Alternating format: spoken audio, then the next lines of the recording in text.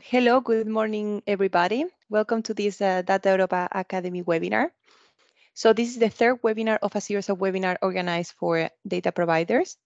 In our last webinar, we had the opportunity to have technical experts from Fraunhofer who explained to us what uh, technical openness means on data. And today we're going to move to the other angle, the other side of the coin, that is legal openness. So we organized this webinar called Understanding Open, Open Data, Legal Openness. So um, data holders need to take very important decisions regarding the legal openness of the, their data when they're making it available to the public. In order to unleash the full potential of data, uh, it has to be open also from a legal perspective, allowing citizens to access data, reuse it, and distribute it accordingly. So we can see already some that some international organizations and governments are, are following these trends, using open data licenses and improving data reuse uh, also to other citizens and institutions.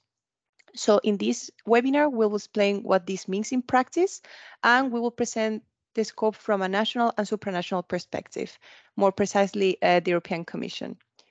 So um, next slide, please.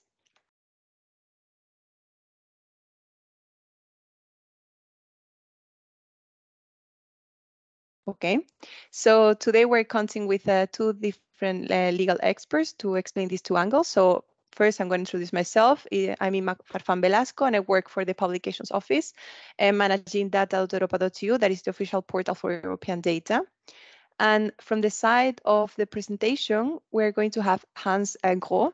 He's lawyer and founding partner at TimeLex, uh, a Brussels-based uh, law firm. Over the past two decades, he has been advising different public administrations and private companies in digitalization, modernization, and data policies with a very particular focus on open data, intellectual property rights, data protection, and information security. And we're going to count with uh, one of our experts from the Commission, so uh, Jean-Paul Triaille, he is a legal officer. He works for the European Commission uh, Central Intellectual Property Service. Uh, he advises the European Commission and EU services in intellectual property uh, related matters concerning their activities and projects. Uh, but before joining the Commission, he has been working also um, in private practice as an IT intellectual property lawyer, and also he has been lecturer at the University of Namur in Belgium. So um, they're going to be accompanying us today through the whole journey. Next slide, please. So some rules of the game before we start. Uh, this webinar will be recorded and we're going to publish everything on the Data Europa Academy webinar. Please ensure that you mute yourself during the webinar and reserve uh, three minutes after the webinar to help us improve our services by filling, out, filling out our, our feedback form. The feedback form is not only to speak about this uh, specific webinar, but also to help us to create additional learning material in the future for you. And for questions, we're going to address them at the end of the overall presentation. We're going to have a specific moment of Q&A. So please don't hesitate to uh, write your questions on the Teams uh, chat. So regarding the agenda,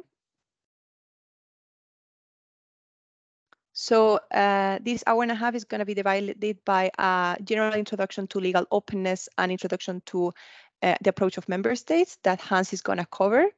And then we're going to move towards the EU uh, public administration approach that is going to be presented by Jean-Paul, followed by a Q&A and feedback in which we really recommend you to stay because some the discussion will be very interesting. We want to hear also from you.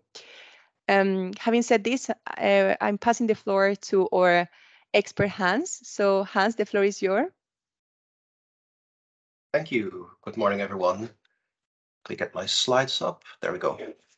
So Good morning, everyone. Uh, indeed, I've uh, I have the, the honor and the pleasure of uh, providing in, uh, the introductory session, the opening session on um, legal openness and uh, how to build um, open data sharing systems um, from a legal perspective, looking a little bit at what some of the problems are, what some of the challenges are, and what some of the um, available tools are, especially also how they're being used and being deployed at the member state uh, level, looking at some some current trends and some some current practices.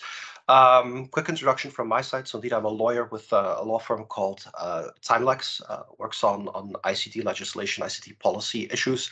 We provide a lot of uh, legal support to the European Commission, to national governments, but to private organizations as well on a variety of topics, uh, including obviously um, intellectual property rights, data sharing, um, data protection, um, uh, liability and online services, modernization, and then so forth. Last couple of years, we've also worked on the European Open Data Portal and on uh, also on the upcoming data legislation, whole um, the Data Governance Act, the Data Act, and on all of all of those new initiatives, which I'm sure many of you are are are trying but struggling to follow exactly how they uh, how they work and how the, the pieces of the puzzle fit together. Um, uh, basically, this session is all about showing you a couple of those pieces of the puzzle and, and how at least they uh, are very uh, coherent and consistent in encouraging openness, um, encouraging open data sharing, and explaining also a little bit on, on what some of the main uh, solutions are for making that happen. Before I sort of um, dive into the more legal aspects, I just want to take a, always like to take a quick step back and look at the, the sort of the, the philosophical angle and what people actually mean about openness, uh, because that is one of the, the challenges. It's the, the open data, open anything community tends to be very ideologically driven, very uh, passionate, very engaged, very committed, but everybody sort of applies their own ideas on what openness actually is, um, which is natural because this is something that um, started a very long time ago. And you see openness in a bunch of policy areas. The only common thread really is that openness is, is increasingly everywhere. Um, I think uh, policymakers and, and legislators and markets increasingly are convinced that openness is a good thing and that we need more of it.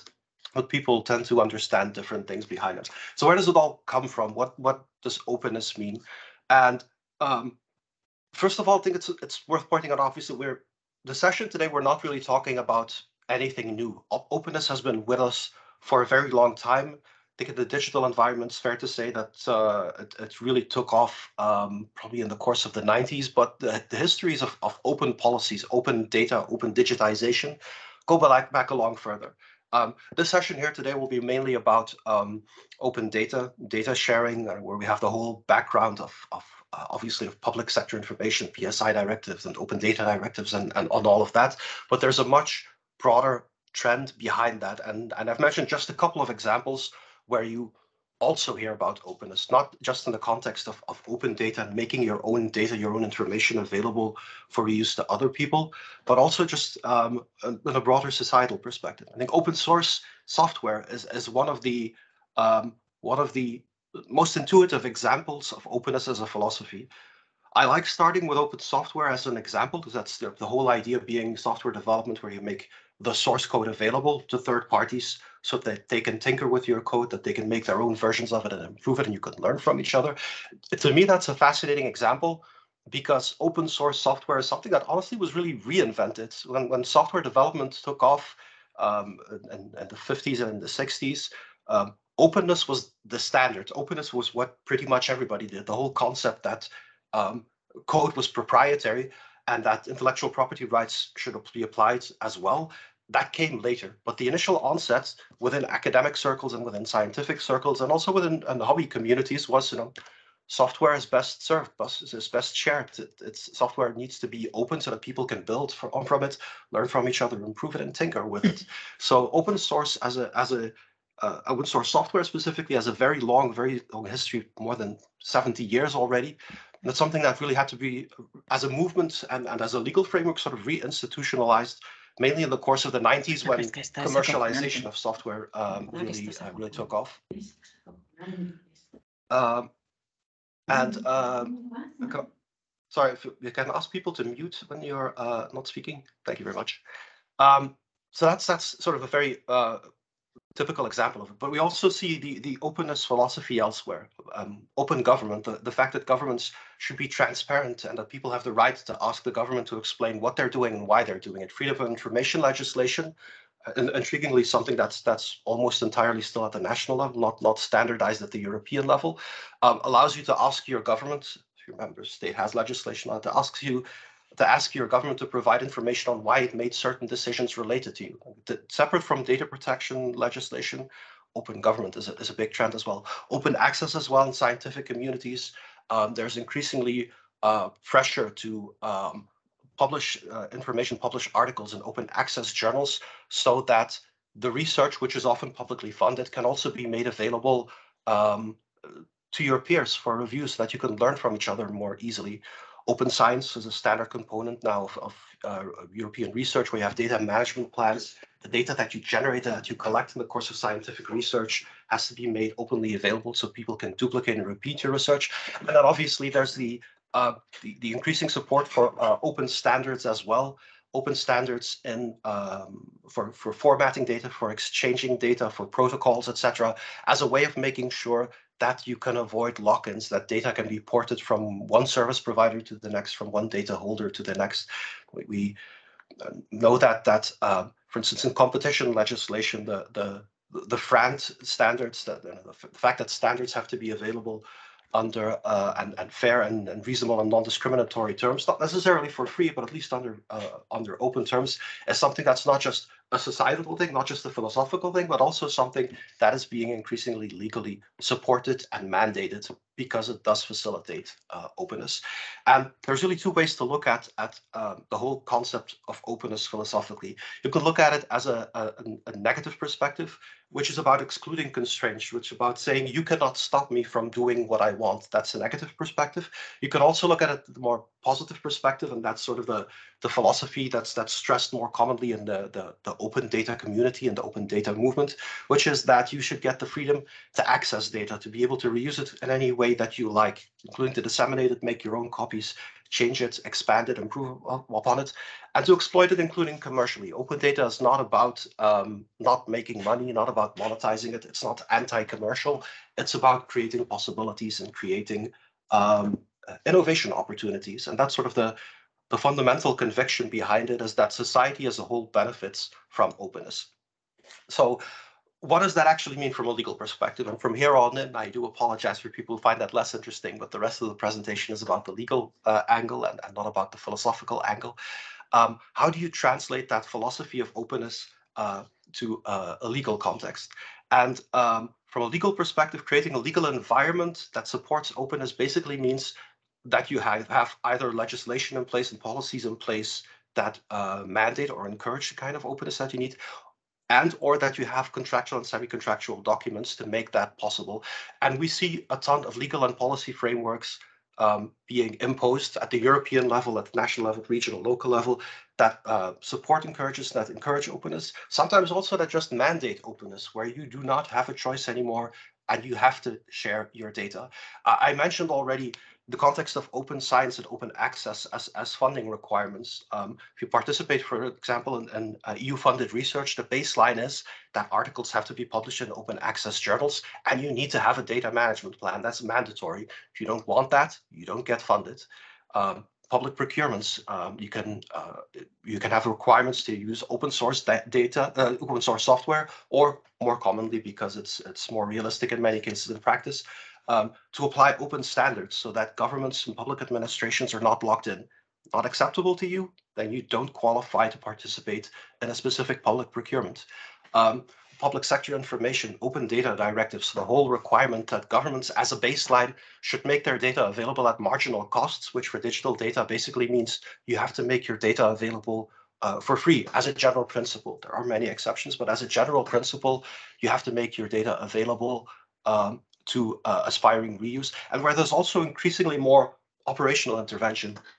We've had a couple of iterations, a couple of generations already of public sector information legislation and, and uh, culminating now in the Open Data Directive. And they're increasingly more interventionist in the, the amount of data that gets covered, uh, the constraints imposed on charging mechanisms, the uh, introduction of legal frameworks for high value data sets, which have to be available through APIs to further increase and facilitate openness so that you get dynamic, up-to-date data access. Um, all of those are examples of legal frameworks that either gently push or actively force you in the direction um, of openness. I mentioned data portability legislation as well. Data portability is not about giving everybody access to data, but it is about getting you the right to claim your data back. It's a different perspective on openness. It's not so much about making it available for free to everybody, but at least making sure that your data remains your own data. Um, and there's other uh, frameworks that I can mention. I'll get back to some of them later on. Um, and from the, the new data legislation, the Data Act, Data Governance Act, they also try to provide pieces of those puzzles, of the puzzle to make um, openness easier and help you overcome some of the legal constraints that I'll talk about in a moment. Um, but it's also about implementing, separate from legislation, to look at contractual and semi-contractual documents that remove barriers to openness and that make it easier for data holders, uh, for data producers to grant permissions. The positive perspective to say, I will actively step up and grant you permission to uh, to reuse my data. I'll talk in the national example section at the, the end of this presentation. I'll talk about how member states are handling this, but I can also already indicate you know, that the use of Creative Commons licenses, um, that's that's something that's increasingly common and increasingly seen for member states in relation to their own uh, governmental public sector information. Why? Because basically Creative Commons licenses are internationally known standardized licenses that you can easily use to make data available with limited um, constraints. So that's an easy way for member states to take sort of a low effort and very high impact approach to opening up um, uh, their data. Other member states try to make it even simpler and say, well, we're not using licensing, we're just dedicating uh, we're using uh, specific declarations. Creative Commons has a CC0 declaration. There are other examples. Member states simply come out and say, this my data is not subject to intellectual property rights, or at least I commit to not enforcing any intellectual property rights, which in practice for a data reuser is largely the same thing. To say, Here, here's the data, you do not get a license, you just get an assurance from my side that I'm give, giving you permission to do what you want, and any rights that I may have, I will not enforce. It's basically putting data in the public domain, making it freely open to everyone. So those are kind of the, the two big roads that you need to walk on if you want to create an, a legal environment that's conducive uh, to open data sharing. Obviously, you know, was, was mentioned in the introduction already, and the colleagues of Fraunhofer did an introduction to that. The legal environment doesn't need doesn't fix everything. You also need to implement the necessary uh, operational and technical measures, create an environment, a technical environment that's conducive to open data sharing, um, all the legal paperwork in the world will not help you if you cannot actually put your data out there in a usable format, meaning ideally open standards or at least commonly known standards, um, open interfaces, protocols that people can easily integrate with so that um, in today's open data economy, which is increasingly built on, on, on, on the concept of having dynamic services, that data actually can flow freely. It's not just about establishing rights, it's also about just making it work from a practical perspective. Now, and, and the best the rest of this presentation, I just want to look at sort of what makes open data sharing difficult from a legal perspective. So uh, what are the, the barriers? And then looking also at some practical tools to, to, to make um, open data licensing possible. Um, obviously, when we're talking about um, a, a, barrier, we're also about an enabler. So the, the big one is intellectual property rights, ancillary rights, related rights, um, and, and their impact on uh, on data sharing and on open data policies. I always explicitly choose, and I think that's also the intellectually fair way to do it, to, to phrase intellectual property rights not just as a blocking point, uh, not as something that makes life difficult, but also as an enabler. Um, that's not always done in, um, in, in the open data community. These are, you know, the, the philosophy does tend to be, you know, we should be able to do what we want, and intellectual property rights, like copyrights, but also other intellectual property rights, stop us from doing that. So intellectual property rights are the barrier that we need to overcome. Um, but I think it's possible to take a more balanced view there, at least within the European market, because we do have the benefit of a quite extensive um, harmonization framework. We do have a series of copyright uh, directives, the most recent one, uh, the, the uh, Digital Single Market uh, Copyright Directive, um, enforcement directives that harmonize how intellectual property rights um, work across the European Union. Why is that a good thing from an EU perspective? Because at least you're going to be facing the same basic rules and the same fundamental problems and the same fundamental solutions as well across all of the member states. Uh, in the absence of those kinds of rules, the situation you know, might be different from member state to member state. It would be impossible to predict what rights even exist to begin with and how they compare to your own uh, intellectual property rights. So the fact that we do have a harmonized framework for that um, at least can be considered uh, an enabler as well. Uh, still, there's also no way to, to, to dance around the problem that intellectual property rights can be a blocking point as well, simply because uh, from a policy perspective internationally and, and at the European level as well, um, intellectual property rights are largely granted automatically, meaning that you have to deal with copyrights, with database rights, um, and even with trade secrets occasionally um, automatically, even in cases where nobody asked for it and there where there is no real um, economic or societal justification for there was there was no need for intellectual property rights. And that last part is particularly important in a public sector context where a lot of data is produced not um, out of a sense of creativity or out of a desire to create economic value that can be exploited um, by a creative worker, but simply from the fact that governments need to do their government tasks and that as a result of that, they collect or generate and maintain um, data sets.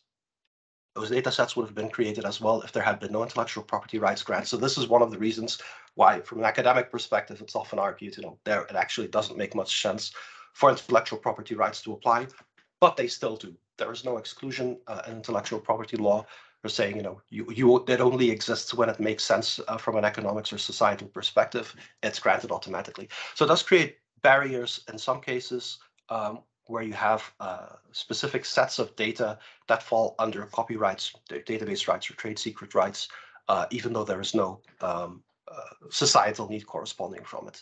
Um, I, I, won't go into detail on, on what they exactly entail, but very briefly and, and vulgarizing it quite a lot, you know, copyrights will exist in any case where uh, a, a creative work, including digital data, is created um, and uh, reflects the originality, uh, the, the creative spark of, of, a, of a specific author, meaning in practice, you know, it is an original, uh, original work, an original creation.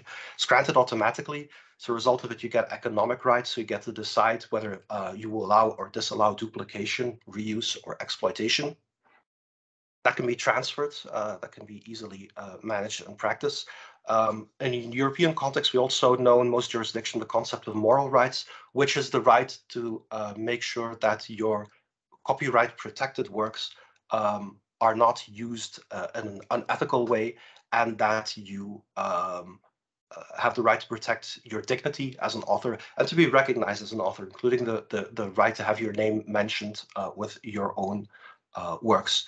We also have a broad range of, of neighboring rights, um, including publisher rights most recently, which are the rights granted to uh, publishers of new message news messages. Um, database rights are cases where um, uh, databases, sets of data, collections of data uh, can be protected not only under copyright, but also and additionally as a database right if you can show that the creation of data required a significant investment. So that's useful in cases, and that's very often the case in a public sector context, where actually um, a specific set of data didn't really require much originality or creativity, where you don't really uh, recognize the, the, the creative spark, the creative genius, so to speak, of an individual uh, creator, um, but where there was simply a significant economic investment involved. And as a result of that, uh, within the EU, we have the concept of database rights, which largely um, in practical terms have the same consequences. If you own database rights, you get to control who is allowed to access and to reuse and exploit um, the data in that database. We also have a regime for trade secret protection, uh, which is less relevant and, and, less impactful in this context, which allows, uh, in practice, many commercial organizations uh, to protect information which is um, economically sensitive, economically valuable, and for which they've taken reasonable measures to make sure that the rest of the world doesn't learn about them. That's useful sort of as a complement to copyrights uh, and database uh, rights. So we have a broad range of intellectual property rights where the baseline always is you need to determine whether these apply. Quite often it's in a gray area where the answer is probably yes, this falls under copyright or database rights, occasionally under trade secrets, but much less frequently. And if they do apply, that means you need to have a rights management mechanism in place. You need to have a rights granting mechanism in place if you want to share them freely and practice mainly uh, licensing. And I'll get back to what member, member states are doing from a practical perspective in a moment. The other um, sort of big uh, challenge, uh, also from that perspective, enabler at the, the European level, also again, it's, it's, it's harmonized, it's fundamental rights and particularly data protection rights. I think probably everybody in, in this session knows that the European Union has extensive protection for fundamental rights in general and for data protection uh, in particular through the General Data Protection Reg Regulation, GDPR. It mainly matters because fundamental rights uh, are also automatically granted like intellectual property rights, but un unlike intellectual property rights, they cannot be transferred or sold or waived. You cannot simply agree not to apply uh, data protection rights. People can't sell their data protection rights um, they cannot contractually agree that they will not uh, enforce uh, their, their data protection rights. Um, and that makes it difficult to share data openly when it contains personal data. Personal data in the European Union is a concept with a very broad reach. It's not just directly identifiable data, you know, information that mentions your name or your contact information or your email address, you know, stuff that everybody would recognize as being personal data, but also indirectly identifiable data, including things like descriptions of the property that you own, license plate um, of uh, your vehicle, um, your uh, career track records, your your uh, information that, that indirectly describes you, which even if if a recipient couldn't directly to say uh, could couldn't directly say, oh, this license plate clearly belongs to this person who lives at that address, would still allow them uh, to track you and to evaluate your behavior, and which conceptually still could be linked to you. Um, so we have a very broad concept of um, personal data, uh, and this can be challenging. When data that you want to share openly contains personal data, there are a lot of principles in European data protection law that reasonably and legitimately make that difficult. Um, if you're sharing data that contains personal data, if you're sharing personal data with a third party, um, you need to find uh, a way to set that up in compliance with the GDPR. That means you need to organize, you know, how does that transfer work? Is that a transfer from one um, independent data controller to a new data controller? And if so, then you need to have a, a, a, a contract in place that regulates the legality of the data use. You need to regulate what they are allowed to use, impose purpose limitations. You need to make sure that the reuse is also transparent to the individual citizens. You need to be able to know that their data is being shared and what it will be used for. Appropriate security measures need to be taken so you can never just toss personal data out there and say, do what you want. There needs to be an accountability mechanism behind there. So you cannot just share data and say, it's not my problem what somebody else does with it. That's not my responsibility. I wash my hands off of that.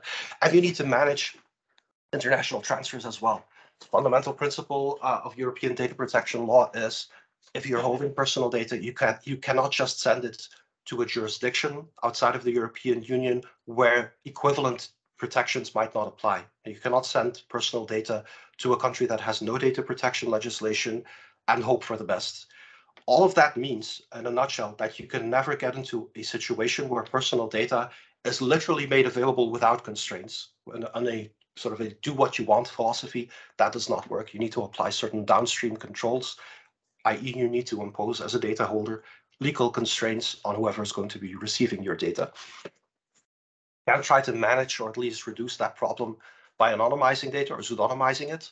So removing directly identifiable information or even indirectly identifiable information, um, uh, applying uh, blurring or generalization techniques to make your data less sophisticated and to make sure that it's no longer possible to link the data to a specific individual. In that case, it's no longer personal data, but that's difficult to do effectively. It's, it's always risky because you need to be able to prove the effectiveness of your anonymization and pseudonymization techniques. It's not just sufficient that you've reduced the risk of, of identification. You really need to prove that the risk of identification um, is gone. And often that's not possible without um, uh, significantly reducing the value of your data or even removing all of the value from it. Um, that doesn't mean um, that data sharing is impossible for personal data. There are definitely cases where uh, personal data can be shared, um, in a relatively open um, in a relatively open framework, but it does mean that you need to apply some minimal constraints. The whole approach of you know here it is, do what you want, that does not work with personal data. And this is also one of the topics where the new uh, data legislation um, tries to provide its own solutions. I, I, mentioned here on this slide very briefly the Data Governance Act, which actually creates a legal framework uh, for data sharing intermediaries who can help you to share personal data responsibly. Basically, it creates a specialized type of service provider. I'm not aware of any of those operating yet in, in the EU because it's still a relatively new framework. Uh, a specialized type of service provider that allows you to um, collect personal data and that allows people to manage um, data sharing access rights from that data holder to recipients to third parties. That's critical, for instance, also to enable uh, open science and, and, for healthcare information.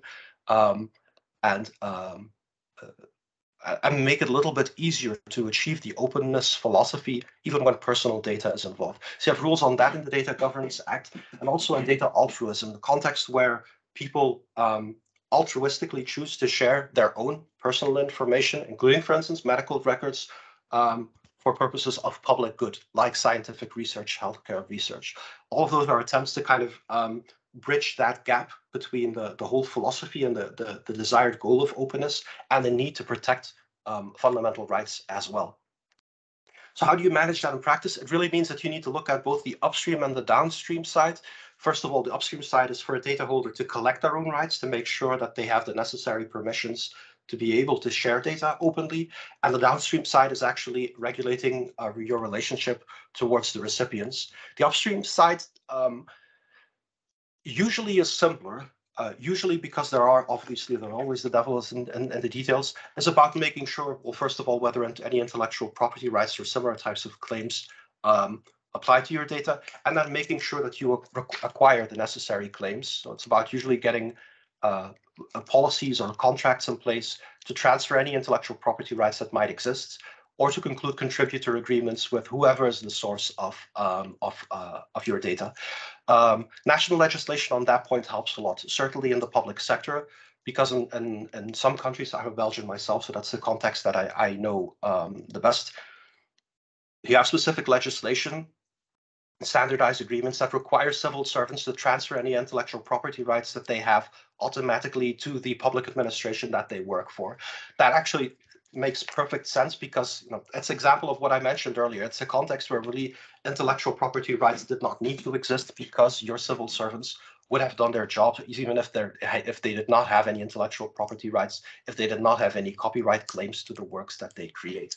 So national legislation there um, can act as an enabler in centralizing the rights. When that's not the case, when you don't have specific national legislation, you do have to have clear policies in place to govern um, who owns specific data uh, and assess at least on, on, on where the uh, where all of the rights are centralized. Once the rights are centralized, then you need to set up a downstream mechanism, which is typically setting up a mechanism of model licenses that allow you to share data in a harmonized, homogeneous way across a more or less broad range of potential reusers. So I mentioned model licenses like the Creative Commons family. I'll, I'll look a little bit later on at, at how that's done in practice um, but also uh, introducing any kind of additional uh, constraints. I, I, call them acceptable use policies here um, to be able to handle reuses and to be able to handle abuses. Now, um, intuitively, if you read that critically, you can say that that doesn't logically work. You cannot have open data and acceptable use policies. Those two don't mesh. Either you create freedom and people can do what they want, and that's open data, or you add constraints, you bold constraints on top of it, but then it's not open anymore. Um, that's a sort of fundamentalist perspective. It has some merit to it, but I think it's more useful in practice to look at it from a practical perspective to see how far can you go. If you have the opportunity of really releasing data openly, for instance, using permissive licenses like the Creative Commons family, then that's um, the best way to do it. But in some cases, it just isn't possible. There are potential risks and potential abuses that you need to mitigate and potential legal requirements that you have to handle as well, maybe.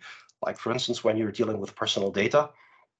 And in those cases, you need to basically dial down the, the openness to the point that you can make sure that you're handling data responsibly.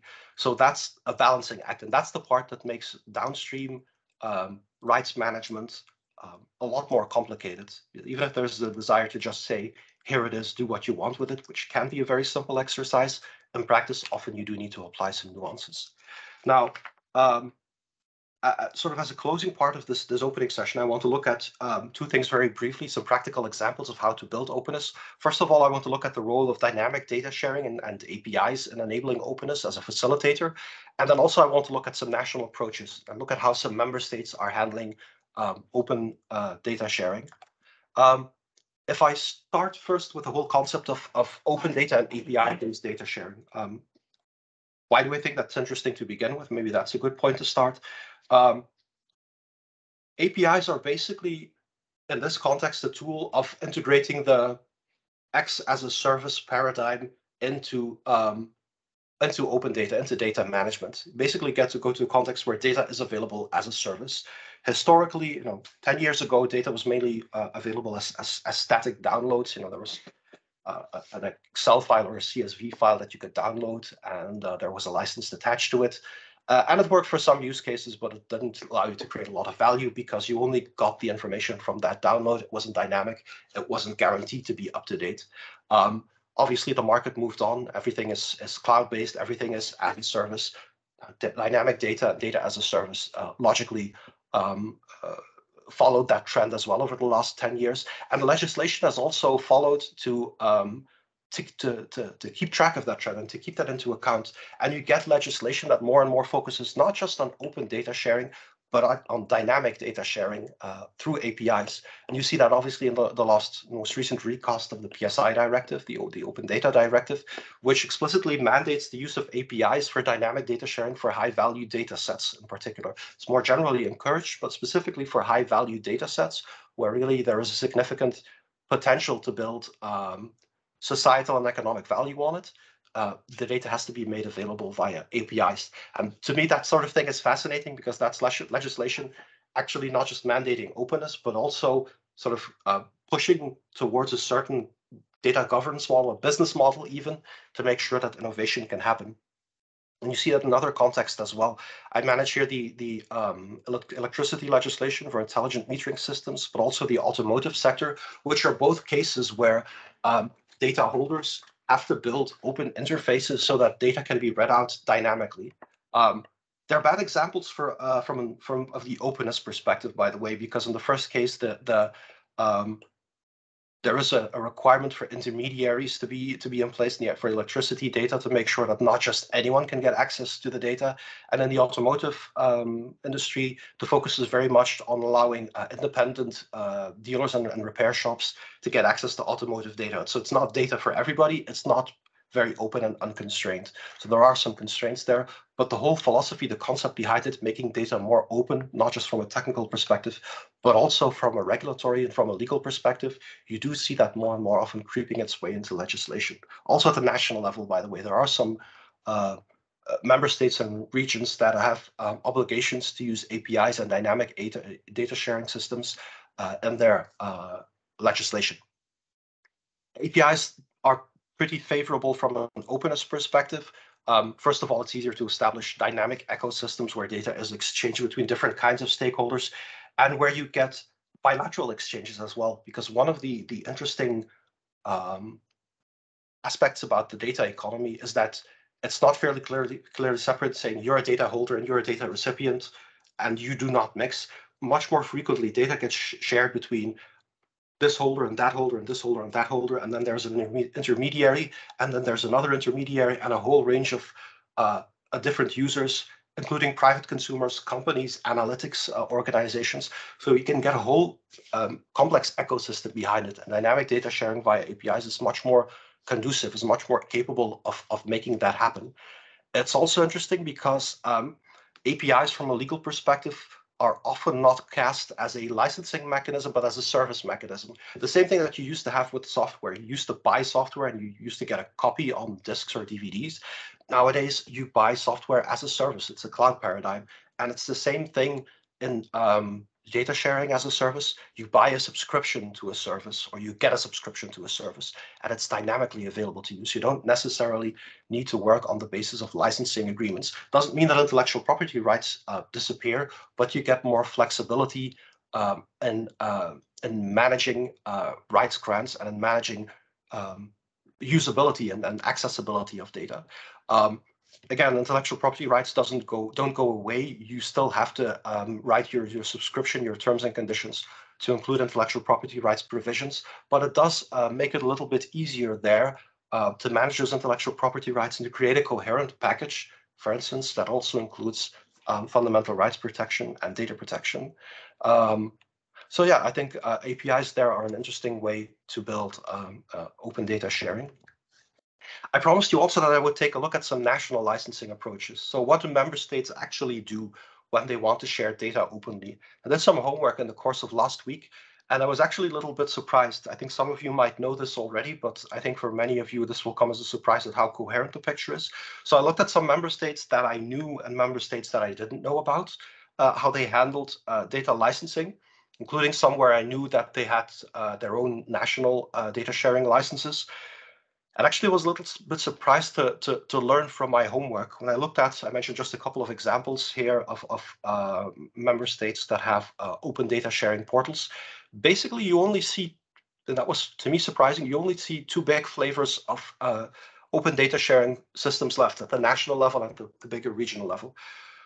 You have portals that basically say, you know, um, our data publishers, whoever the, who publishes the data, they add their own licensing mechanism. So we don't intervene. We we don't know. We don't have a standardized policy. That's one group, and it's an increasingly small group of member states. But every other member state, and that's the one that I mentioned on the slide here, every other member state that actively endorses a specific open data license includes Creative Commons licenses. That was very surprising to me because that's a trend that only, well, obviously that's started more than a decade ago, but that seems to have really accelerated in the last couple of years, the reliance on Creative Commons licensing um, at national portal level as well. And even in cases where it's not constrained, where you don't have to necessarily use Creative Commons licenses, you see that a lot of the data sets are made available under Creative Commons licenses. So I mentioned here uh, at the, the, the, the, examples from Belgium, where there is uh, encouragement to use a CC0 declaration. So basically that's a declaration saying, I will not enforce my intellectual property rights. I dedicate it to the public domain. It's not exactly the same, but largely works out that way. Um, and alternatively, uh, promoting also uh, CC BY licenses, which is the one where you can basically do what you want, but you have to uh, uh, uh, contain, you have to maintain the attributions, you have to link to the source, you have to acknowledge where you got the data from. Uh, that doesn't mean that the, the, the, bespoke licenses, the ones that are nationally designed and the nationally maintained, have disappeared completely. Um, Belgium, both at the federal level and at, at some of the regional levels, have their own bespoke licenses for commercial and non-commercial use, which are a little bit more tailored to the local um, the local context. Same thing also, I mentioned the Italian open license in, in Italy. I haven't mentioned it on the slide, but I think France has an, an, an, an own national license as well. Those are all, those still exist. But to me, the interesting part was that that common trend of relying on um, uh, standardized open licenses as a way to make data more easily available. There is also, and that's a second trend that's worth signaling, a very big reluctance to um, include personal data on these portals simply because of the complexity of, of mixing uh, Creative Commons licensing with personal data protections. That's a hard sell on the one hand to say we are open, we are making it available to do what you want with it, and at the same time uh, making sure that you handle fundamental rights protections and personal data protections um, responsibly. So um, that's really it. That's was, was the main trends that I wanted to highlight uh, as a part of this uh, of this introduction on what sort of the, the main legal constraints are um, and where um, uh, yeah, some of the main licensing approaches come in and, and, and what some of the main tools are.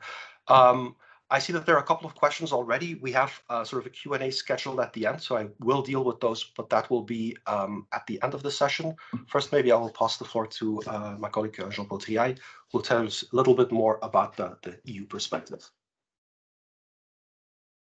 Thank you, Hans. Um, good morning, everyone, and uh, thanks to the organizers for having invited me to present indeed what we, we do in the Commission and in the EU institutions um, in this area of legal openness and uh, uh, uh, as Hans was saying, open everything. Let's see maybe together how this is being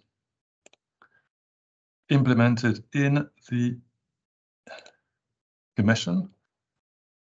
Tell me if you see my slides. Yes, we can see them. Very good. Okay. So first a word to say, I come from the, uh, uh, as was mentioned, I, I, work in the Commission Central IP Service. What do we do there?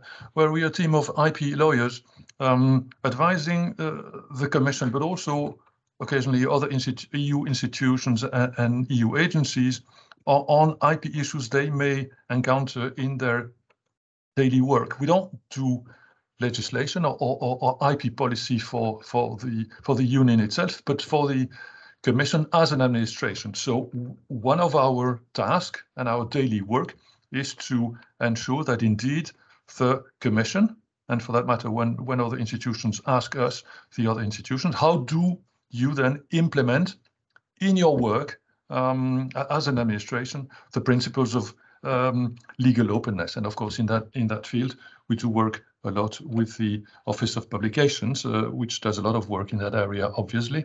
Um, what am I going to present to you today, briefly?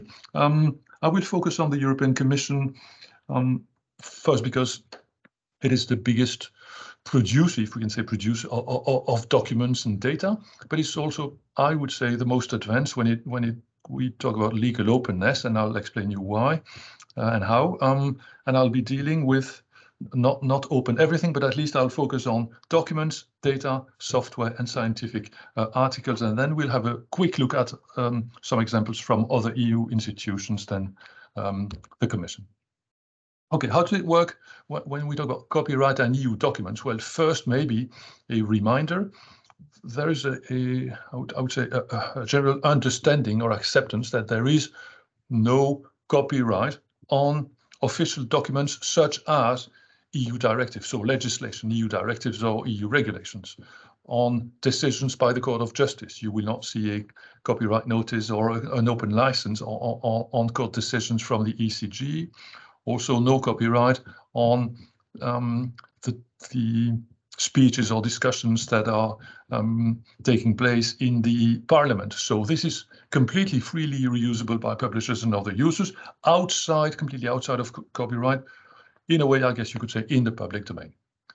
When it comes to all the other documents, reports, data sets produced as a result of the work of the Commission, software developed in the Commission. All, all other documents, well, there indeed, there can be, provided the legal conditions of originality is met, there can be, of course, a copyright on these elements or a database right, if we talk about uh, databases, which will then belong, legally speaking, to the EU, so not, not so much as the commission to the commission, but to the EU, which is the only uh, legal entity for all the EU institutions, but under this umbrella of one legal entity, as we'll see, there are some various practices and, uh, uh and ways of working.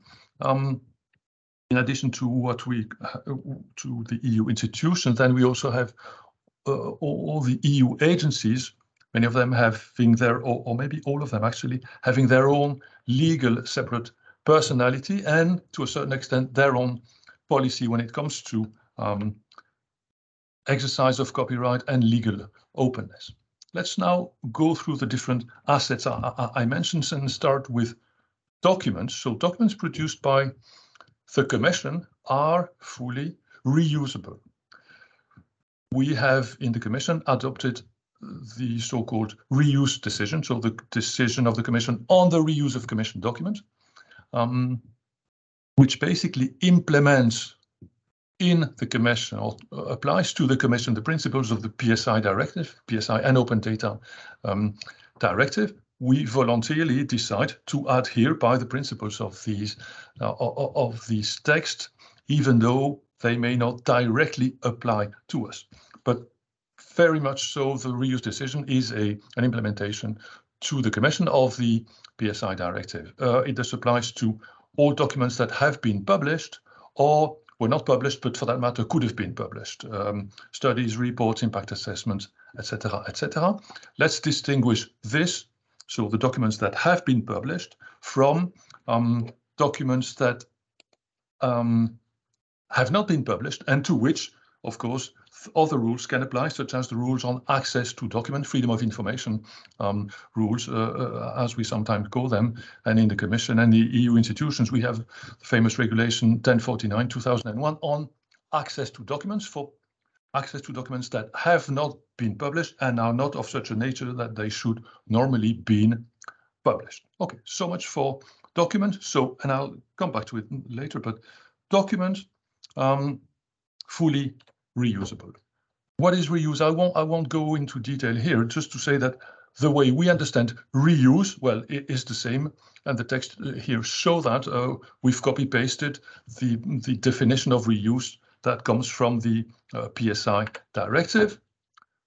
What does it, what does the reuse decision apply to? Well, all documents defined as any content, whatever the medium, paper or electronic, text, sound, images, or any part of such document and I'll say in a minute that that also applies to data and data sets. So that's what is in the scope, what is not in scope of the reuse decision. So what does not fall under the idea of full reusability? Well, obviously, and as in the PSI directive, documents covered by IP rights of third parties. You can only allow the reuse on things that you have the IP ownership of or on elements that already were made available by a third party as an open um, open source software or an open um, document or open uh, data set.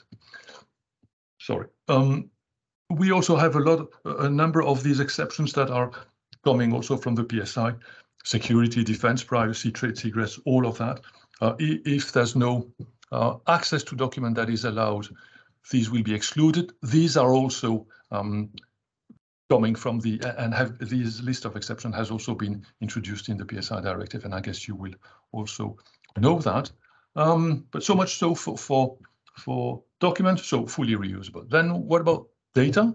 Well, there also open data is the principle. The reuse decision applies to data and data sets. So all data produced by the Commission as a result of its work should fall under the reuse principles.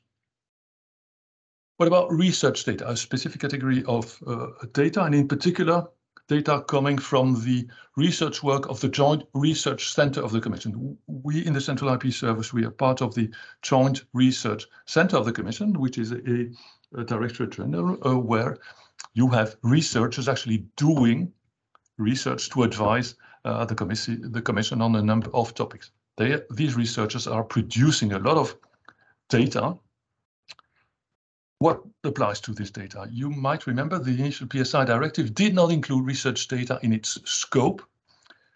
As a consequence of that, our initial reuse decision was also excluding research data from the scope, but then it was decided in the Commission already back in 2011 to include explicitly research data from the Joint Research Center. So research data from the work of the Commission in the, in the research field was already included in the reuse decision back in 2011. So even before the PSI directive itself did also include this in its own scope. So in a way, on this, we were in the Commission in advance uh, uh compared to the uh, legislator it's good to say data can be reused, but how do you implement that in practice? It's, it's one, one thing to say it, another one to implement it.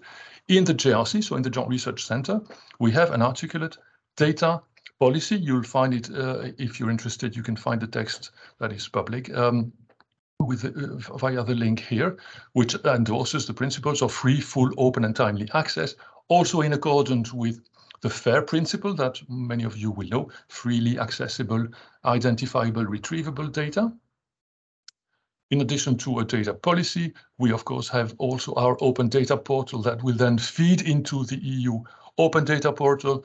We wanted to really help researchers to implement these, these principles. Therefore, we have developed also a an online tool really helping via decision trees and, and all sorts of mechanism helping researchers to actually go all the way to the publication of their data set, sorry, and guiding them also up to the drafting of the appropriate copyright notice. So we really, I think, have gone all, have tried to go all the as as far as possible to come to actual implementation of these principles, also giving training to researchers. And I was giving one not later than uh, yesterday morning to to, uh, to to the JRC researchers.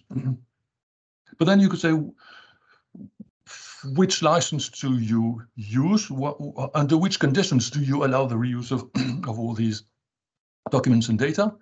Until 2019, we had a special copyright notice for, for the Commission, which was basically saying reuse is authorized along the lines of the reuse decision. In a way, we were telling reuse, you know, figure out what it means, go and read the text. That was not machine readable, that was not a standard license, so certainly not ideal. And we know the discussions about um, the, the problems that may come from the fact that many um, institutions will, rather than use a standard license, think it is better to have your own specific open license. Um, we thought it was not a good idea. In 2019, I, maybe it's worth mentioning that we in the Central IP Service wrote a study where we compared the respective benefits of having your own copyright notice, even if it is a, also implementing an open an open policy, um, the respective advantages or disadvantages of having your own specific notice versus going for a standard existing license.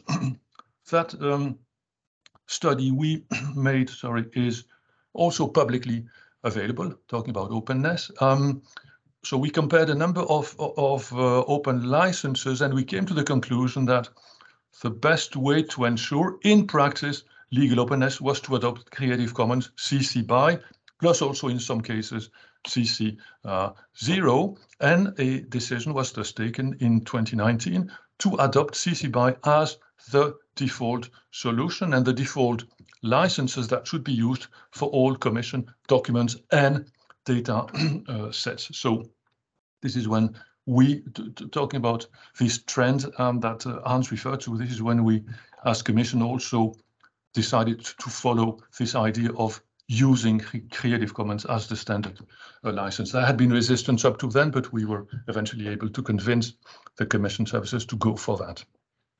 I don't think I need to talk about Creative Commons, but because I'm sure most of you know it, but um, we know that the, as I mentioned, the difficulty that may come from the fact that some institutions decide to keep their own specific licenses, forcing users to check them, um, not allowing search engines to recognize metadata in the documents, um, and therefore not able not, not, not allowing research engines to identify these documents or data as really open.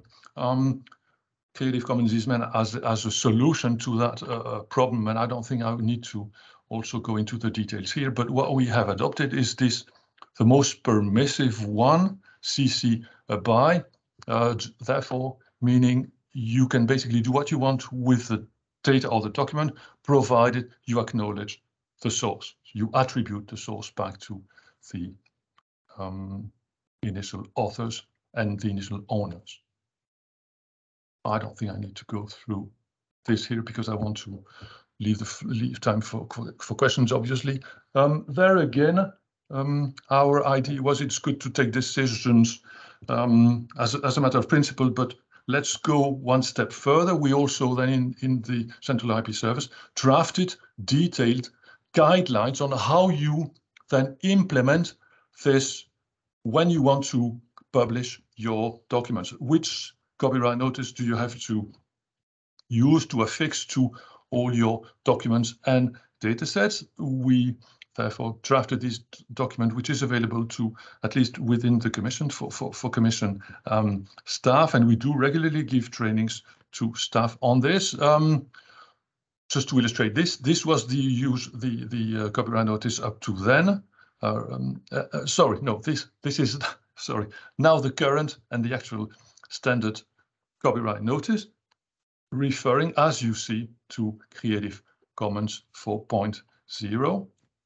Um, so so much for documents and data. What about software? Quickly a word.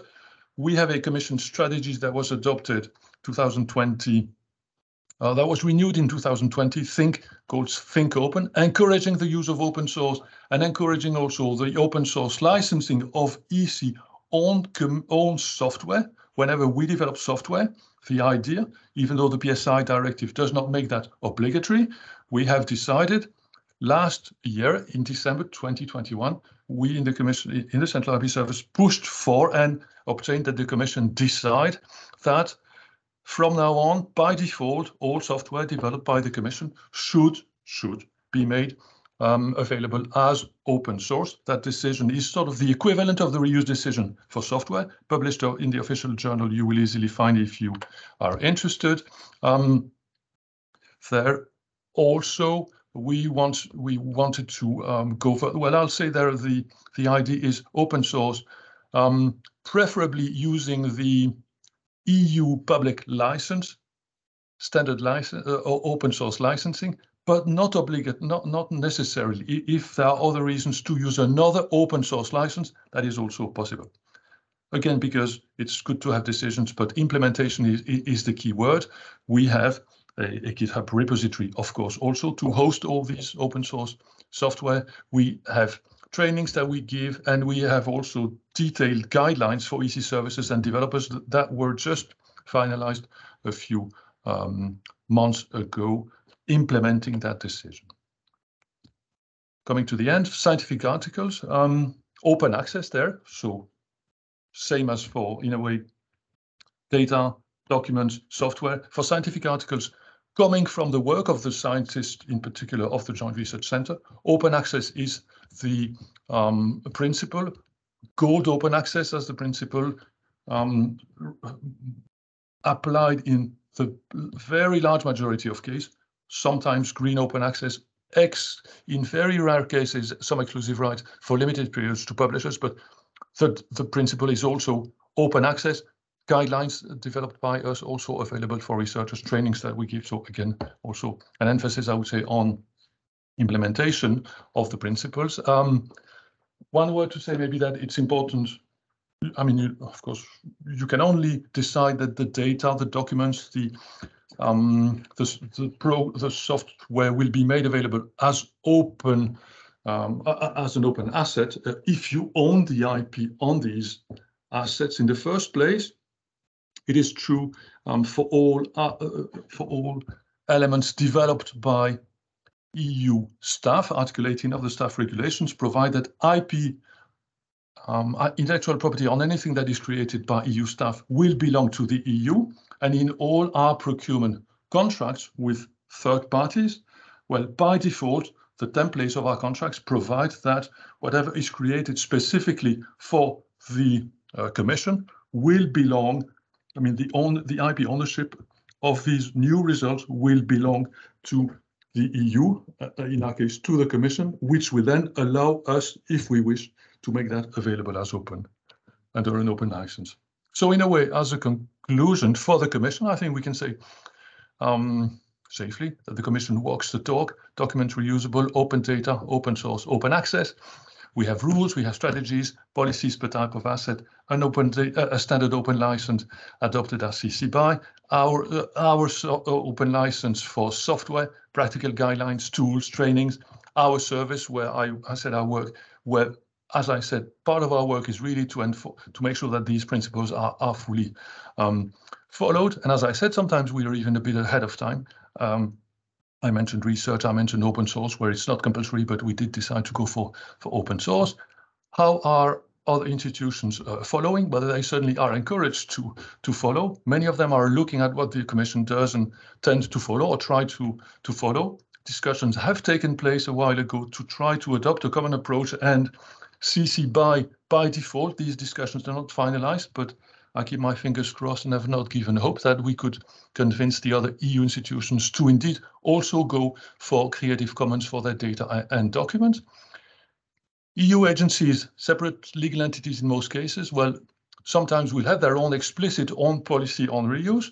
More often will take inspiration from the, what the Commission does, I would say. So the other institutions um, try to um, follow the Commission, but to their credit, uh, even if if they don't uh, fully follow all the time. Uh, one could say that that's because they try to follow, but we maybe we're running fast. Um, a, a, few examples of how, how that works. Um, the council has it, has adopted its own open data policy on the reuse of council documents. Now, on the other hand, when you look at their website, what it says is, and I've copied it here, reproduction is authorized provided the Council of the EU is always acknowledged. So reproduction is authorized, but that doesn't say reuse, which I would say is a bit suboptimal. If we talk the, if we um, look at the parliament, the parliament I know is working and thinking about how to improve their own reuse uh, policy. For the moment, their copyright notice on their website is maybe not also completely uh, optimal in the sense that it says that the, as a general rule, the reuse is authorized, so that's good for commercial, for personal or for further commercial or non-commercial dissemination, good. But then it says, provided that the entire item is reproduced well, this is not fully in line, I would say, with reuse, but I know the Parliament is doing its own homework on these things um, for the moment. Um, and I'll finish with one example. This is not a competition where one agency has, you know, been awarded the, the, the prize of the best one, but I would say if you take one example, for instance, there are many EU agencies, but this one um, called CEDEFOP has a copyright notice on all their reports, which fully endorses and follows Creative Commons um, CC BY 4.0. So an example there of a full implementation of, of an open document and open data policies. And with this, I would like to uh, finish and give the floor back to you. Any question will be addressed afterwards. And I, just to show that we we walk the talk, this presentation is available under a CC BY 4.0 license, and I've transferred all my rights to the EU as a consequence of Article 18 of the staff regulation. Back to you. Thank you very much, Jean-Paul, for uh, for this super informative and also encouraging uh, presentation, trying to move everybody to uh, uh, Creative Commons or other open license. So we're going to move now to the Q&A and feedback.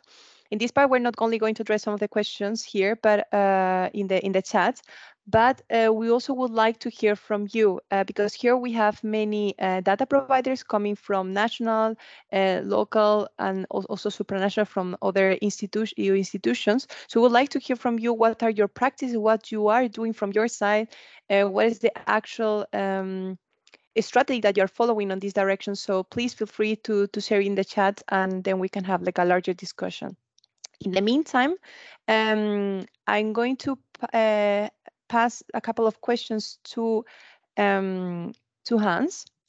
Uh, so Hans, we have one question regarding uh, the like the term and difference between intellectual property and copyright. So uh, Maria Postolo asked uh, if it would be right that we mentioned that data and data visualization may be protected by intellectual property rights, or should we use data um, data and data visualizations may be protected by uh, copyright? Both of those are technically right because all you're saying is that they may apply, which is always true, obviously. If you say that they may apply, it also means that they may not apply. Um, uh, but joking aside, I think in this particular context, I might in, might suggest if you want to say I want to be as accurate as possible, I would refer to intellectual property rights because it would would include both copyrights and database rights. Database rights, um, so databases can be protected by uh, by copyrights if they're actually a creative original work. But next to that, we have the separate database rights in the European Union, which also can apply for non-creative works that require a significant investment. So uh, intellectual property rights is a lot more inclusive it's also a lot more vague because you will get into inevitable discussions about things like whether you know trade secrets uh, cover fall under intellectual property rights as well. Um, but I think that the intellectual property rights phrasing is a little bit more inclusive and a little bit more generic. So if you want to say I want, I just want to have a general statement, and I want to make sure that I'm not missing anything, I would go for intellectual property rights uh, in, in, in that particular case. Yes, thank you very much for your reply. We also have another question regarding data protection because uh, according to our experience with data providers is one of the main constraints that they uh-huh. find in when we have to fight uh, for, for legal openness. So this question is from Bernard uh, Cravina. So he asked about uh, what happens when you give legal, uh, when you give, when there are a private person who gives consent on, uh, on sharing their data. Is this personal consent sufficient for accountability? What, what do you think about this? So I am very happy to get that question because I have now have to disclose a secret that some people might know already. In addition to being a lawyer, I'm also, as a hobby, I'm also the president of Regional Data Protection Authority. So I have to advise on uh, the legality of data protection uh, legislation in uh, the Flanders uh, region, just only for, for e-government stuff. So this uh, probably the smallest data protection authority in Europe, but technically it is one. Um, and we actually encountered that question recently in the context specifically of, of legislation that would require the publication, uh, name, affiliation, and contact uh, contact address of researchers who receive the public grant.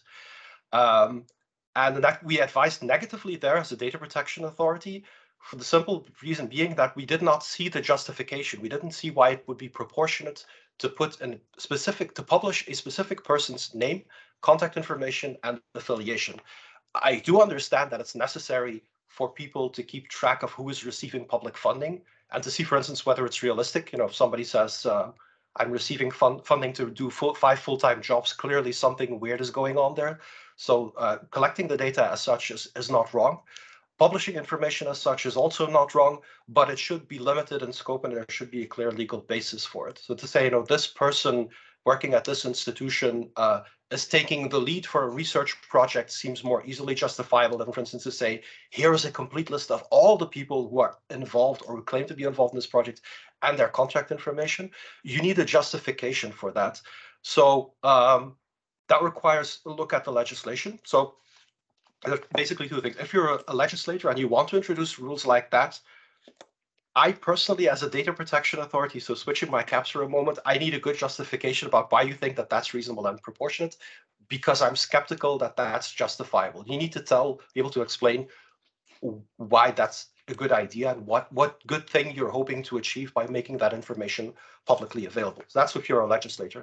Here, um, I don't know if the question is from a legislator here. It might be more be the, the opposite thing and say, look, we didn't make the rules. We're just trying to follow them or we're trying to create a framework.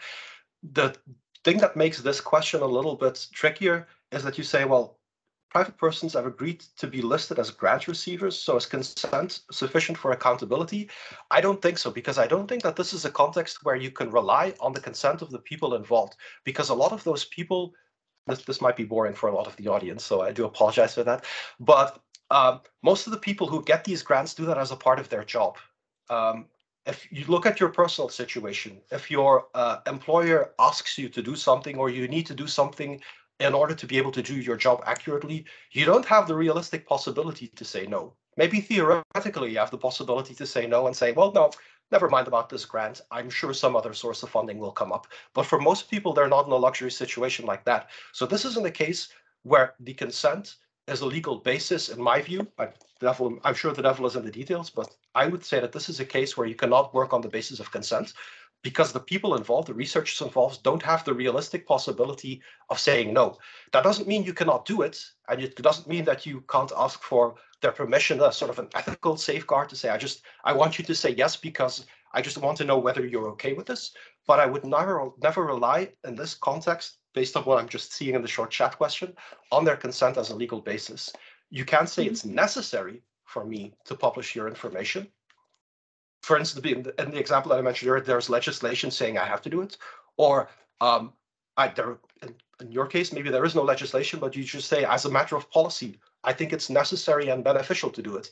But then you need to be able to justify exactly what it is that you're trying to achieve. Um, and I'm not saying there is no way to do this, but it has to be fairly minimal, and you'd have to have a good justification behind it. For instance, I would think a good balance might be I will publish the name and the, the uh, affiliation, like the university that they're working for, or the company that they're working on, of the person who's leading that research. That seems easily justifiable, but not everybody who's working on it, not the exact amount that, that they got, not contact information, because all of that leaks more information than, than it needs to have. There's a ton more to say about this, but I don't want to uh, monopolize the entire uh, the entire discussion. So I'll leave it at that. Okay, thank you very Thank you very much, Hans. Actually, this is something that uh, that maybe should be because when you are talking about this, eh, for me, it looks like a whole process until you choose uh, the the like the right license in which you want to share your data. So. Um, for me, uh, this part would be like more in the preliminary steps in the part of the data processing, data cleaning. So here, that's why like, I have the feeling that uh, legal experts should be uh, part of the whole process of data management and data cleaning before even uh, choosing the licensing uh, to really understand to which level they can actually share or not share the data, and according to that, choosing the right license to that. Mm -hmm. So. Hmm. Okay. Um, we also have a one question from uh, from Lucas regarding high value data set, uh, high value data set. So this is a bit out of the scope of this specific uh, webinar. So we're gonna uh, answer you separately you separately about this. Um, because we just very quickly, I, I cheated and looked it up, and if nothing has been changed in the draft, it enters into application six months after it is published. But I think the question is mm -hmm. more, mm-hmm. okay, when is it being published? That I don't know, and I doubt that anybody else in, in, the, in the, session knows. But if someone knows or if knows if the six month deadline has changed, feel free to post it in the chat, but that should be an answer. Mm -hmm. Good, perfect. And then uh, uh, we have a question also for for you, Jean Paul. Uh, it comes from Tim. Um, so what if the commission publishes data that it received that was has been produced by a third party and also includes uh, personal uh, information in data on, on, metadata? For example, your commission receives uh, responses uh, to public consultations written by others uh, on have your say. Can I just reuse this personal information? What do you think, uh, Jean-Paul? What's your take? Yes, I'm a bit hesitant to to to answer on that one for, for, Mhm. for the reason that in the commission we have data protection um, correspondents in, in each DG, and they are in charge of, of, of you know explaining the policy and giving all the guidelines and answering that type of question. I would not want to do this. I know they are. I mean, we have a lot of policies, guidelines, and rules in place to ensure that the uh, the data protection rules are um, you know, respected, um, even when that means a lot of uh, additional burden on the services, uh, as we all know. But that's all, I could say on this. Sorry, uh, maybe uh, maybe Hans would- want to to, to answer. I mean, uh, generally speaking, on, on the question, but I would not want to, you know, be be, uh, be explaining because that's not really our our role, and I would not want to step on the foot uh, feet of of the data protection coordinators in the commission on this. Mhm. It, it is very context specific and it, it depends. yeah, I, this is uh, the typical lawyer's answer, meaning it's probably not very useful for you, but um, it- it- this is one of those cases where you, you need to look at the, the, the legal framework as well to see what, what specific kind of use of the information has been, been authorized. Yeah. And then you need to do an assessment of what else is, is justified. So I, I, I love looking into these things as a general principle, um, but I think indeed I, I wouldn't be able to answer it right now without looking more at the, at the details. So I have to stick with the lawyer's answer. It depends. So um, yes, I have the feeling that it also depends on the case by case basis, and we will need like to know actually the the specifications of the of this case. So we don't have like a general a Mhm. general uh, reply that we can use in uh, every time. Mm. Um, we also have uh, a concrete question regarding Digital Markets Act from Martina from RTD. Uh, she's uh, mentioning that uh, yes, it's rule to regulate gatekeepers, and these gatekeepers uh, must grant their businesses uh, users uh, to access the data. How will help uh, EU's business, the EU's business to compete with the giants, with the big tech giants? So um, I'll, I'll provide initial answer, and Jean-Paul can be can feel free to uh, to, to add to that. So um, to me, this is a, a, a, one of the very interesting ones because I, I think you have to be honest about it and say the way the Digital Markets Act is set up is kind of an experiment um, because it creates specific rules for the gatekeepers. So for the very big organizations that have a fundamental impact on competitiveness in the market. So you know, list is still to be finalized, but obviously, you know, the legislators are thinking of uh, the Microsoft and the Apples and the Facebooks and the Googles, you know, the ones that have massive amounts of, of data. And what's happening here to me is very intriguing because there's a default set of, of legal rules that are being introduced specifically for those category of designated gatekeepers. Um, meaning that the information that they hold has to be more easily shareable, including with competitors, to reduce lock-in effects. Because it is true and it's normal. Um, IT companies are very good at building a service portfolio across you know, their central package. If, if you do everything in the Microsoft world or in the Apple world or in the Amazon world, although if you stick within that one uh, within that one context, within that con- within one technology stack, everything is a lot easier. And there are competing services out there, but it requires data to be moved outside of that stack, and it's harder. Sometimes impossible, sometimes harder. What the EU wants to do here is basically create an enforceable right, specifically for those gatekeepers, not in general, but an enforceable right to make it to make it possible and make it easier even to get your data out of that technology stack and to put it with others. That should be and that's the theory, and I hope also the practice, but time will tell. In theory, that'll help European businesses a lot better because right now they can still face that challenge where they say, I have something that plays fantastically with Amazon, with Microsoft, uh, with one of the gatekeepers, but I need them to cooperate. And there is actually no incentive for those gatekeepers uh, to cooperate with me because they have their own competing service which I think, because I'm the European innovator, I think mine is much better. But obviously, if they open up their data, then all of a sudden they're facing competition and they don't want competition. So they're not going to do it. They're not going to open up. And therefore, I can't sell my products. I can, you know, I have something that does, I don't know, uh, analysis of how hosting services works, but it needs to, I can work with European SMEs that agree to work with me, but I can't work with Amazon okay, then that's 70% of your market potential gone. So the whole concept of the Digital Markets Act is not openness in the sense of all data is open for everybody, but it's openness in the sense of data portability things that I was talking about in the discussion. Basically, the recognition that if I'm working with a gatekeeper, it's still my data, even though a gatekeeper is, is holding it, and I should be able to determine when the gate opens and who gets access to it. And that should allow European innovators to create more, to sell more um, innovative services and to build their own markets that's the, the concept and the philosophy. Uh, theoretically, it makes a lot of sense. Um, so I think it's it's it's a good move. but yeah, devil in the details. We'll have to see how it works out in the end. Yes, let's see what's going to happen in the next uh, five years. Actually, just connected to this because uh, anti-competitive uh, uh competition and uh, digital digital market seems like a to be like a very hot topic and i would like to take the opportunity also to uh, tell you that we're going to have one specific report about this that was produced actually by our expert hans uh, Graux from timelex uh, so it's going to be yeah yeah Sorry, so have to listen to me some more yeah, so we're advancing already some information. So we're going to publish actually one report on this specific topic. So I would invite you to to go through the website of data.europa.eu. We'll publish it in the coming two weeks. Uh, so you will be able to, to, to see the first discussion on this matter. Um, I also have one last question before we move to the feedback form and future webinars. So is on EVI, uh, is, uh, are these different rules for research datasets uh, that result from public funding?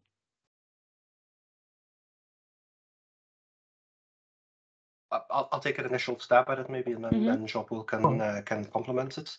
Um, so the general principle, increasingly, and this is also true at the national level, it's true at the EU level, but also at the national level, is if you want to have funding, if you want to receive public sector funding, your information has to be made available uh, under uh, open access. I'll, I think Jean-Paul knows the mechanism of sort of the, the, the, the, gold access and green access stuff probably a little bit better than I do. But increasingly, the principle is if you want to get taxpayer money to do your work, you have to build openness into it. You can't use public funding to create purely private benefit. Um, this isn't a transversal rule. There are always exceptions, and there need to be. Like we are involved uh, historically in a lot of healthcare research projects. There, obviously, you can't get in a situation where you use public funding to collect patient records, do medical analysis, and then make that openly available. So there are always exceptions. That's about personal data, about privacy and patient information. There are comparable ones where there are constraints to it.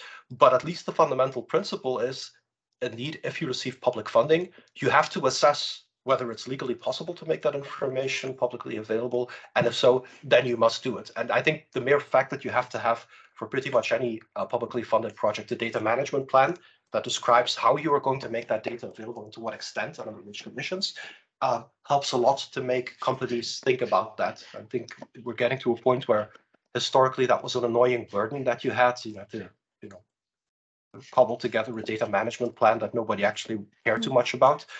But because that's done so systematically now, people take it a lot more seriously and are a lot more, the maturity is a lot bigger and, and making sure that that information gets managed and it's unlockable also for peer review purposes. So I think that that's a, a very positive trend.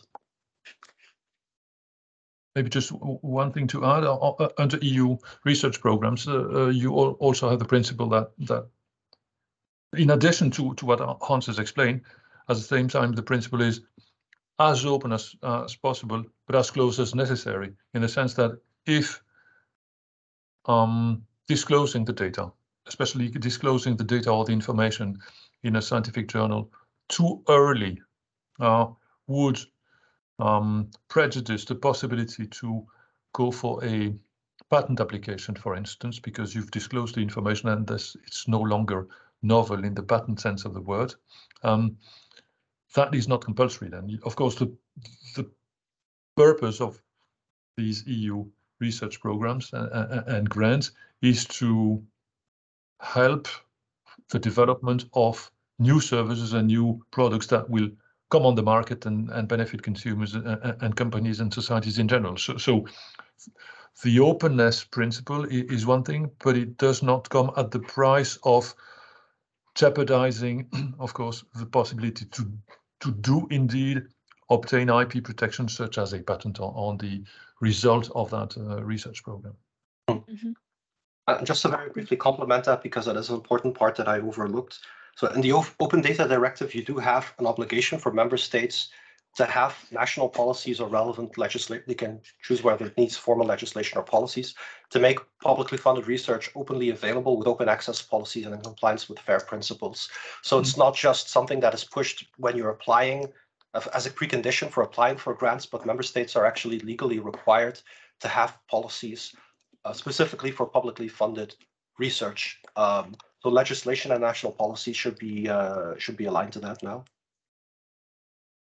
Thank you. Thank you very much for uh, for these interventions. Also to Hans and Jean-Paul for your uh, presentations for for the presentation on these uh, best practices. Also like all the uh, different scopes that we have. So thank you so much for that. Um, so uh, moving uh, forward, we're going to have more webinars in the future. So then next web ah okay. So first sorry.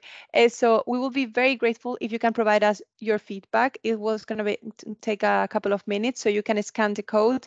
And you will all not only rate this specific webinar but you will also help us to improve in the future. So there are specific questions about uh, what are the webinars that you would like to see in the academy in the future because we would like to shape the the, this learning material according to your needs. So please take a few minutes and we will take this into account. And then uh, don't miss our next webinar on geospatial harvesting uh, on data.europa.eu. Yeah, you can, you can always uh, register via data.europa.eu. Um, so Julia would recommend that we leave the first slide before, like the, the, the, the previous slide before, so they can provide feedback. And with this, I would like to thank you all so much for your time. Uh, I hope you found this uh, webinar interesting. Um, and let's try to uh, make open data uh, a philosophy.